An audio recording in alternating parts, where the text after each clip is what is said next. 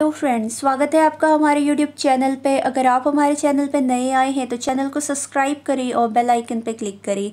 तो चलो फ्रेंड आज की वीडियो स्टार्ट करते हैं। आज हम आपको बताने वाले हैं कि कैसे आप अपने रेडमी के फ़ोन में अपने कॉन्टैक्ट नंबर को ब्लॉक लिस्ट में से कैसे ऐड कर सकते हैं। तो इसके लिए सबसे पहले हमें फ़ोन के सेटिंग को ओपन कर लेना है।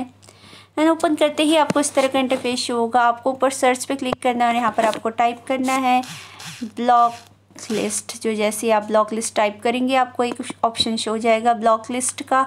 आपको उस पर क्लिक कर देना है। एंड क्लिक करते ही आपको यहाँ पर इस तरह का पेज ओपन मिल जाएगा। आपको यहाँ पर एक ऑप्शन शो होगा ब्लॉक नंबर का, आपको उस पर क्लिक कर देना है। एंड क्लिक करते ही नेक्स्ट पेज पे आपके फ़ोन में जितने भी आपके ब्लॉक लिस्ट नंबर होंगे, आपको वो शो हो जाएँगे। तो जो भी आपको ऐड करना है, आपको उस पर क्लिक कर देना है। एंड क्लिक करते ही नीचे ऐड टू पे क्लिक कर देना है। ऐड टू पे क्लिक करते ही ऐड टू पे क्लिक कर देना है। जिससे आप इस पर क्लिक करेंगे तो आपका नंबर ऐड हो जाएगा। तो फ्रेंड आपको वीडियो पसंद आई हो तो चैनल को सब्सक्राइब करिए वीडियो को लाइक और शेयर ज़रूर करना। मिलते हैं नेक्स्ट वीडियो में। तब तक के लिए good bye and thank you